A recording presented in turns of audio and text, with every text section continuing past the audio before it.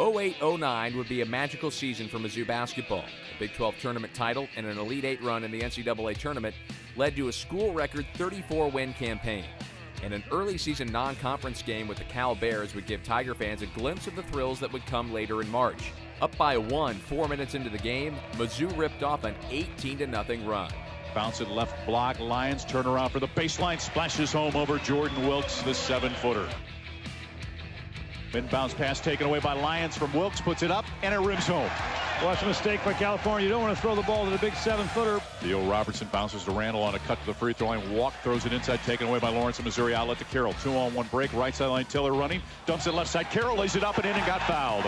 Doesn't get any better than that. Two on one break. You got to make him pay. JT Tiller, DeMarre Carroll made the extra pass from Tiller. Carroll gets the bucket and one. Lob right wing for Carrot for Lyons, trying to work against Kamp. Right side of the lane, turns to the block, off the glass, good.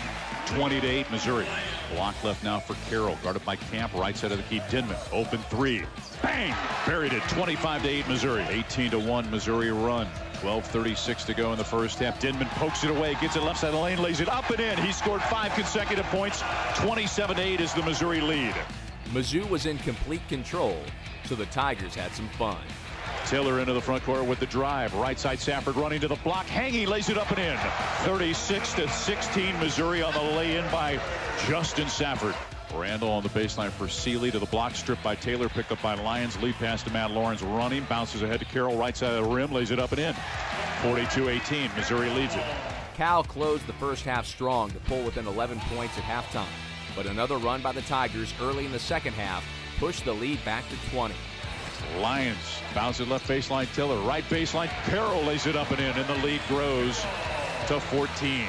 Boykin to the left baseline with the drive to the block, goes reverse, missed it badly off the backboard rebound. Carroll bounces to Tiller, right side for Taylor. Taylor to the right block, bounces to left baseline. Tiller dumps it inside the paint. Carroll lays it up and in and got fouled. It's 56-38. Great job of sharing the basketball. As the game wore on, a young freshman named Kim English caught fire. Right corner English, a three. Bang! He buried it. Top of the key, English a three. Rimmed it home. Kimmy connects from three. It's 76. 51 Mizzou. Now kick it outside English. Deep three from the corner. Good. Nothing but the bottom of the net. Kimmy with his third three. 79-53 the Missouri lead. And another freshman Mizzou fans would hear plenty from over the years, put the perfect cherry on top of a big Tiger win. On the pick and roll, Moore dumps it. Alley-oop for Bowers for the flush. From Big Steve Moore to Laurence Bowers. And they're both freshmen. We're going to see those guys for four years. 93 to 66 was the final score. A signature win in a signature season.